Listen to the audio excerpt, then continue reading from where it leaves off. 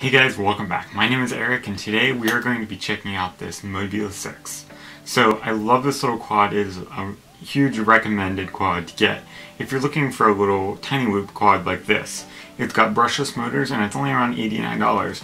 So all you need is a goggle and a controller and you can use this and it's so fun to fly.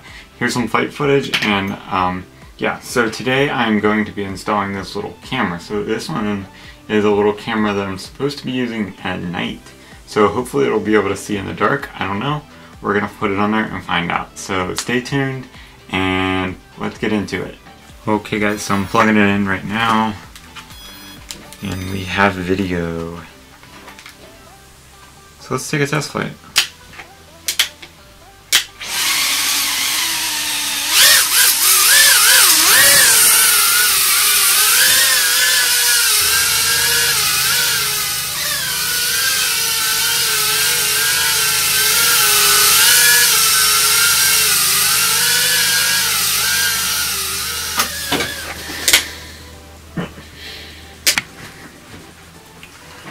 Okay guys, so I changed a bit so that you can see um, the camera's exposed and hopefully it'll be um, it'll do better being able to see. So we'll go give it a shot.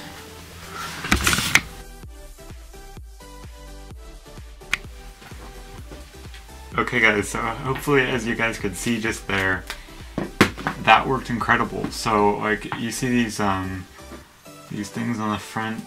Better shot. Okay guys, that is insane. I was just editing this and I noticed that you can see it pink.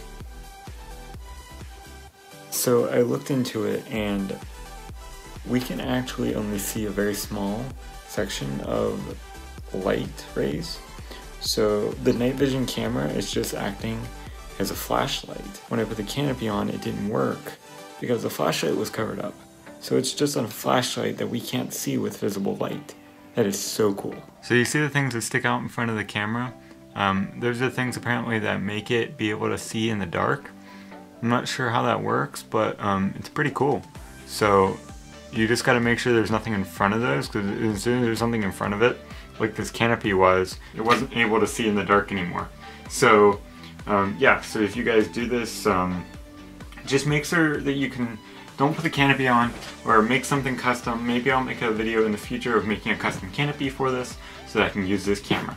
So, but this is a really cool project. I think um, being able to see in the dark and being able to fly at night is such, opening up so many, it opens up so many opportunities and I think that is really cool to be able to um, do that. So thanks so much for watching guys and if you like this video um, please tell me in the comments what you like your most favorite part about it. Tell me your application of this um, camera in the description below right, un right underneath that subscribe button and while you're down there click that subscribe button and I will put the link to this camera in the description below and hope you guys found this helpful. So thanks so much for watching and have a great day. Bye.